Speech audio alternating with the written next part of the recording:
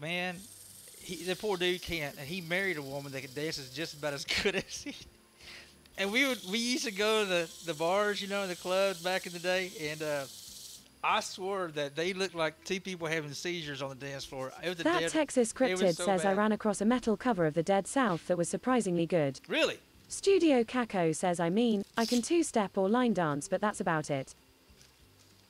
My sister's really good at two stepping. I used to go. My sisters always make me dance with her. I wouldn't.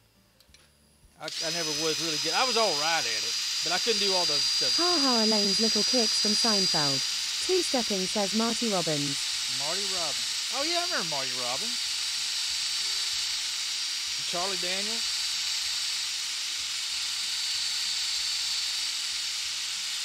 I'm one of those weird folks. If I listen to old country, I like listening to it on an AM radio. I love listening to, to old country on AM. It just reminds me when I was a kid, I guess. I mean, Did you know Marty Robbins also drove early NASCAR? No, what? I didn't know that.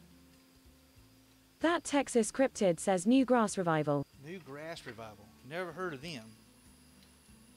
Two stepping says yes ear.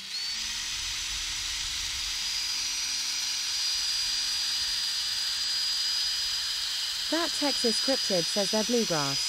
Oh. Studio um, Oh, Kako says I love the country I grew up with, late 80s, early O. Jock says I put Alabama Shakes in the Music Share channel. Okay. Look, I'm, I'm here to tell you, dude. You get to like, you get, man. I like, I'm, I had a buddy of mine.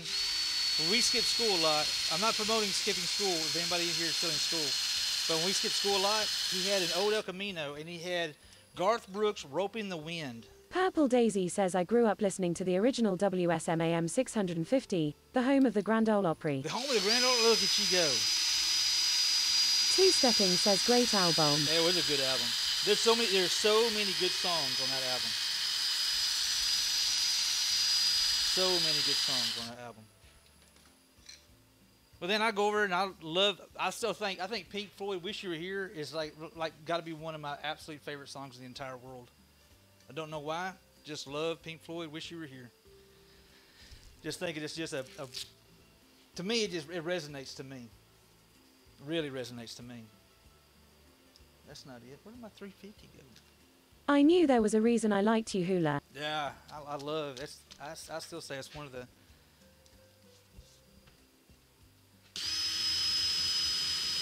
Love, love, love that song. You look thirsty. Oh, that's a drink. Go and get you a drink, man. Dude, we're on the downhill slope. Oh, you know what I'm gonna do? Hey, let's pause this camera real quick. Let me go take my medicine. It's right at eight o'clock. Hey, good call. Thank you, Shop. What's up, chick? How's work? Did you kick butt and take names? Big White Wolf says I knew there was a reason my mama paid me to watch you. Maybe to watch you. Two Stepping says used to sing, Wish You Were Here, karaoke.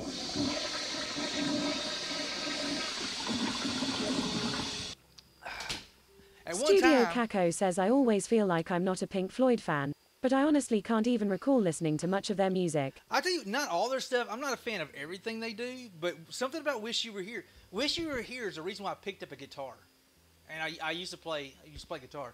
"Wish You Were Here" is the exact the song that made me pick up a guitar and start playing a guitar, and I could play "Wish You Were Here," and I used to sing it to Duck all the time when she was a little girl. So damn cute hearing her like so. So you think you can tell? I, I can still hear her singing it. That's a sweet memory. Uh, you know, it, it is. It is. Sitting there, baby girl singing along. She always want me to play it all the time. Two Stepping says so. So you think you can tell, heaven from hell, blue skies from pale.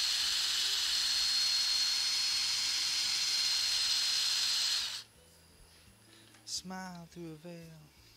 Do you think you can tell? Epic song, man. Uh, What I love about the song, it, it, it tells so many different stories uh, mixed in. And, uh, Very.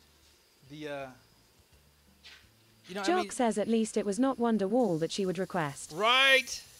Purple Daisy says I never got to see the Dark Side of the Moon Planetarium show, but I did see the one set to Wish You Were Here. Did you?